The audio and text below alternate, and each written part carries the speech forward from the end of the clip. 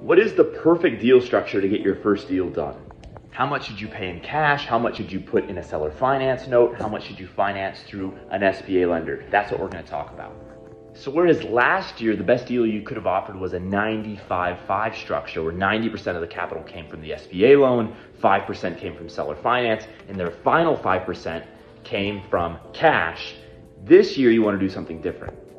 This year, I recommend you do a 75, 15, 5, 5 offer. 75% comes from the SBA, 15% comes from a seller finance note that you could have the seller get repaid on a 10 year term at about 6%.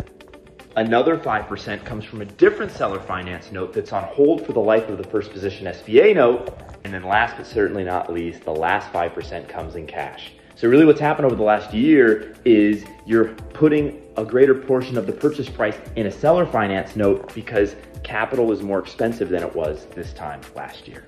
And last but not least, no, you don't have to raise that that 5% in cash. It doesn't have to be your own cash. You can raise that from an investor. Follow my page to learn more about how to do that.